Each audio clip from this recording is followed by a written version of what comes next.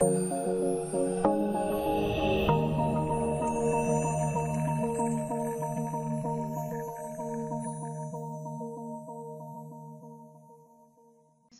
warahmatullahi wabarakatuh. Uh, hari ini uh, mata kuliah Technopreneurship pertemuan yang ketiga. Oke, hari ini tentang membahas tentang uh, formulir pembukaan rekening uh, untuk di uh, Pintrako Sekuritas. Oke, untuk uh, apa formulir pembukaan rekening rekening. Contohnya seperti ini formnya. Itu yang harus disediain itu uh, untuk uh, dokumen pendukung uh, KTP sama uh, buku tabungan. Oke, di sini ada empat. Uh, nanti diisi namanya. Di situ ada reguler sama syariah. Nah, bedanya reguler sama syariah itu kalau uh, reguler dia uh, sistemnya uh, bisa beli saham yang ada di Indonesia di Bursa Efek Indonesia itu uh, uh, sekitar 700-an saham. Kalaupun syariah dia hanya uh, saham uh, syariah aja. Oke, okay, next.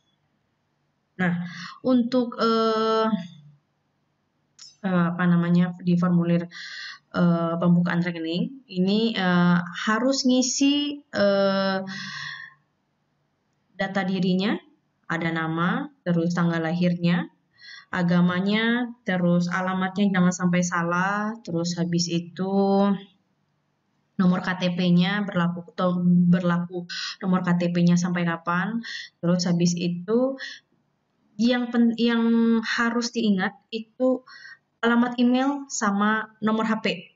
Nah, ini nomor HP sama email itu penting banget. Nanti uh, apa namanya segala uh, apa uh, pemberitahuan dari Pintrako Sekuritas nanti berupa nama uh, akun, uh, username sama ini sama password nanti akan dikirim lewat email. Oke, di sini disuruh ngisi yang namanya user ID. Nah, user ID itu harus ada kombinasi dengan angka. Jadi user ID eh, misalnya Ade Septrianti, Ade Septrianti 90. Nah, itu harus ada e, kombinasi dari angkanya untuk di user ID-nya. Oke, terus untuk nama e, untuk nama gadis ibu kandung itu harus diisi ya. Nah, di sini ada pertanyaan rahasia. Misalnya apa nama makanan favorit Anda itu dijawab aja.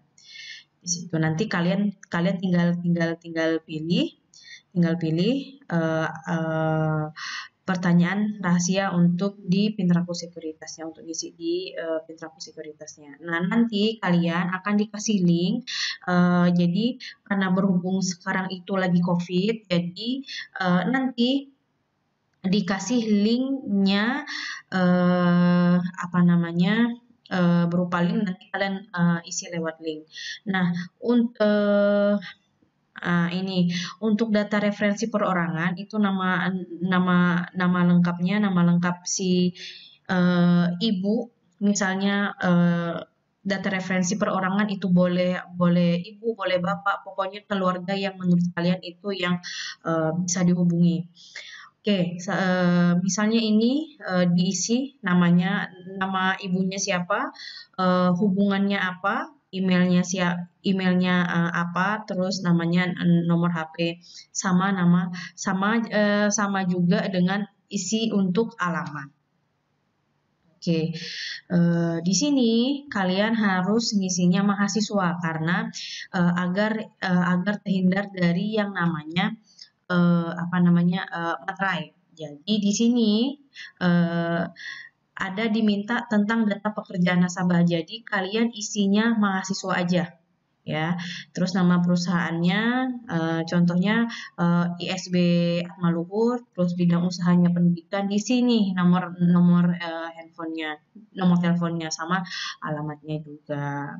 Terus ini tentang data pekerjaan orang tuanya, orang tuanya kerja apa, bergerak di bidang apa, alamatnya di mana, udah berapa lama dia punya usaha tersebut. Misalnya orang tuanya kerja, misalnya di perusahaan, di situ ditulis berapa lama kerjanya, usaha di, dia kerja di bidang apa gitu. Gitu. Untuk latar belakang keuangannya itu harus diisi berapa gaji pokoknya, terus penghasilannya dan lain-lainnya. Oke, terus nah latar belakang investasi, investasinya apa aja nanti diisi. Nah, terus ini referensi bank. Yang dipakai apa? Bank kamu bank apa? Misalnya nama pemiliknya uh, uh, rekening kamu ini terus nomor rekeningnya sama nama banknya. Terus ini di tanda tangan sama para. Oke. Uh, contohnya seperti ini nanti kalian ngisinya secara online. Nanti linknya bakal dikasih dari pihak Pintrapo Sekuritasnya akan bakal menghubungin kalian. Oke, ini uh, surat perjanjian pembukaan rekening efek reguler, terus habis itu pasal-pasalnya, terus habis itu nanti ini ditanda tangan,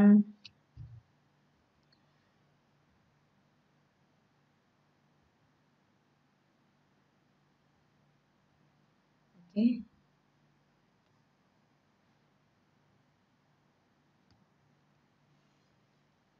Oke, uh, ini ada yang sampel.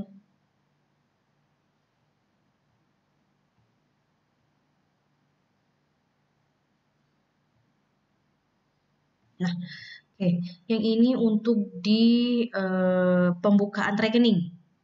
Nah, untuk uh, pembukaan rekening itu uh, ditulis misalnya kalian kalian belum punya rekening nih. Nah, bukanya eh, apa namanya pakai rekening bank BCA. Misalnya adanya bank BCA. Nah, bukanya lewat bank BCA. Nah, di sini, di sini ditulis namanya, negaranya, terus asalnya, terus tempat tang uh, negara tanggal lahirnya.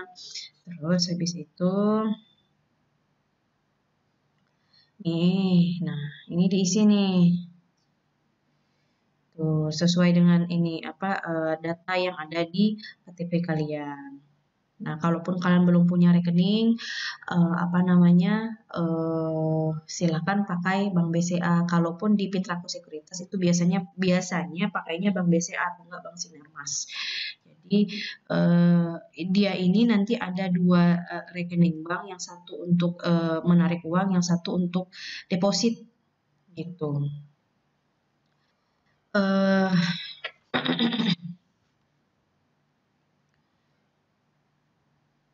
Oke. Nanti diisi sesuai dengan ini. Jangan lupa ditanda tangan, tanggalnya juga diperhatiin. Oke, uh, saya rasa cukup sampai di sini uh, pertemuan ketiga. Uh, ketemu minggu depan sama saya. Assalamualaikum warahmatullahi wabarakatuh. Selamat siang.